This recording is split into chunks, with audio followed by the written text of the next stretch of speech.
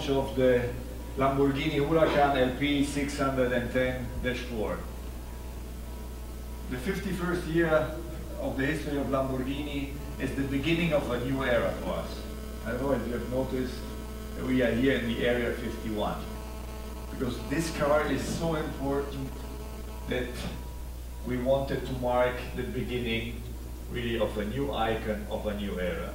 Dusk and dawn means that we are trying to fill the gap between the opposites.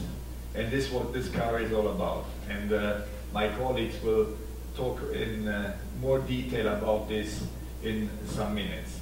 let me give you the opportunity to speak a bit about the year 2013 in terms of automotive industry and in terms of the luxury sports car business. If we start with uh, uh, the, the, total car market, for the first time in 2013, uh, there were sold and delivered more than 70 million cars worldwide. In the US, it's, uh, yeah, or North America, it's 15 million.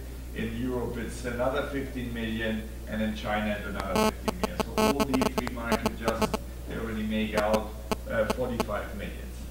They were all up, the markets, except of Europe.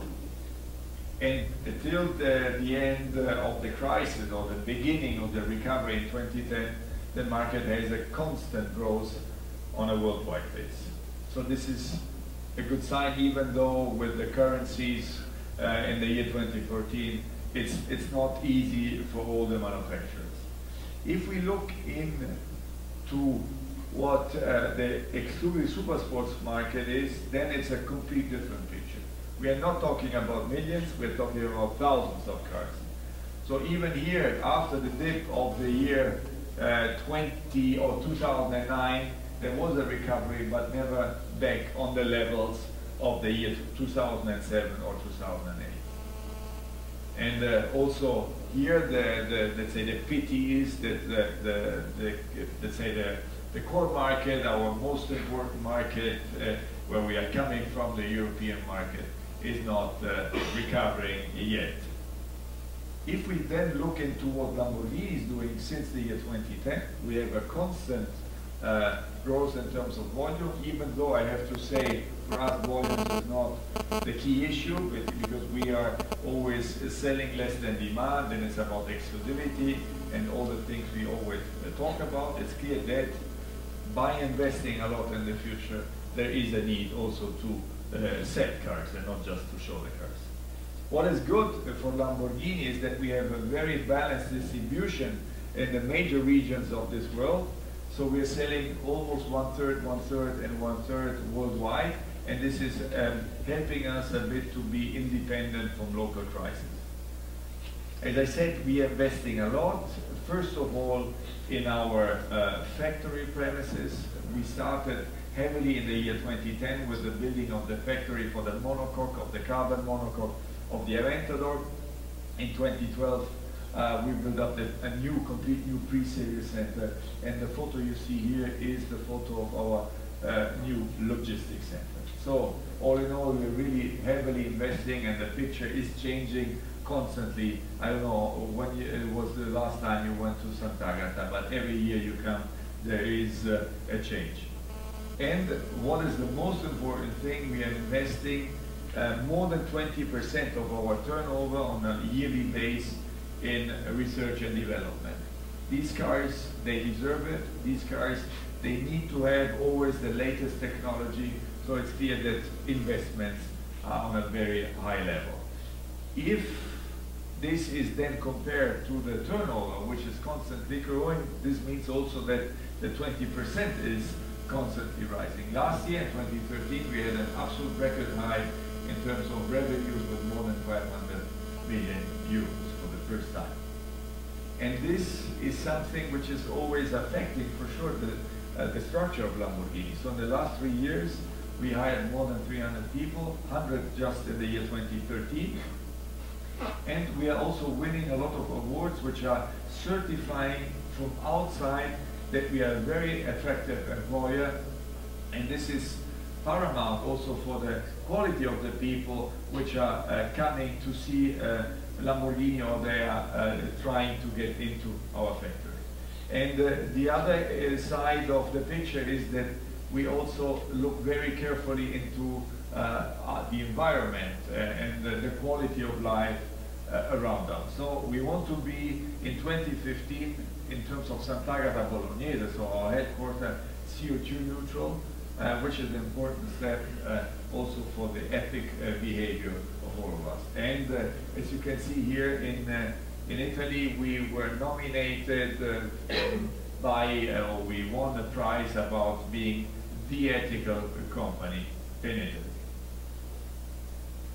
Outside of Sant'Agata, we have uh, national sales companies. We have them in uh, North America, so in Washington. We have one in Toronto, but also in Asia. In, uh, in uh, Beijing, we have the headquarters of our uh, region for the Asia Pacific region. We are in Tokyo. We are in uh, in, in India, in New Delhi. No, New Delhi. I think we are New Delhi. I don't remember now. There's no Indian here, so I'm not making a gaffe. no, it's in, it's in Mumbai. Now I remember, it's in Mumbai. So all in all, we have uh, uh, six national sales companies, and uh, the biggest dot is the green one, uh, which is representing uh, Sant'Agata Bolognese, and then we have 129 uh, partners worldwide, which are spread out in 46 countries where we have, or where we're covering almost all, let's say, the spots of worlds, uh, wells which uh, are existing around the world. Talking about the product, the, the Aventador what is and was a tremendous success and it's still uh, going on because we, in three years, we sold as many cars, so 3,000, as we sold in seven years uh, with the predecessor, with the Murcielago, and we still have one year of order bank. And last year, uh, it was the first year in the history of Lamborghini that we that we sold more than a thousand uh, V12 cars. So very important for us, for the solidity of the company and uh, the image of our brand.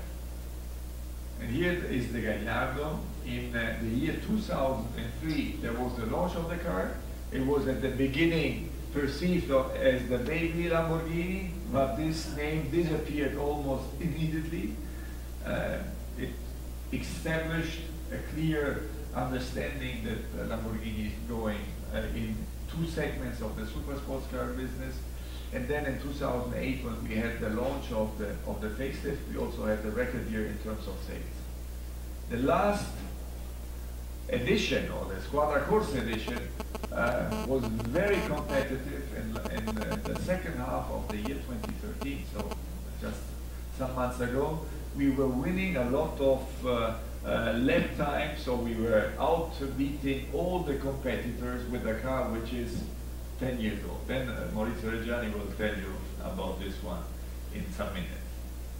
As I said, for us, uh, the, the, the Gallardo was a game changer. The best year was uh, in 2008 with 1,844 cars delivered. All in all, in the 50 years of the history of Lamborghini, we sold uh, 30,000 cars, and only with the Gallardo 14,000. So you can imagine how important this car was for us, and how important this one is going to be uh, in the next years for Automobili Lamborghini. So this is the car. When we started uh, to talk about the fall of the Gallardo some four years ago, it was clear that it had to be a car with uh, uh, innovative technology and which uh, should have been absolute in performance, so the best possible car in this segment. And also to, it has to be something which should have redefined the, the driving experience of a super sports car in, in the new era of Lamborghini. So easy on the road and performing on the racetrack. So like our motto, dusk and dawn. So you have to have a car which is getting all the attention of the driver on the racetrack, very performing, very fast, but then also very usable on a daily basis, so very easy uh, to handle on uh, the normal roads. And last but not least, the design should be clear, a classic Lamborghini. And uh, when we gave the, when I gave the briefing to my people, to the engineers, to the designer, to the entire company, together with the board, and uh, uh, Maurizio Reggiani is here today with me, then it was about two words, instinctive technology. Instinctive technology is what I said before. It's something which has to fit immediately like a glove when you uh, sit in the car, when you enter the car, and it has to give you the, the, not only the feeling, but the certainty that you are a better driver just by stepping into this car, much better than you expected ever to be. And you will experience this today on the racetrack and also on public roads. This is it from my side. These are the prices, uh, prices uh, uh excluding uh, taxes. Now we will see a short video and then Mr. Reggiani will give uh, you technical details about this instinctive technology and how we handled it. Grazie.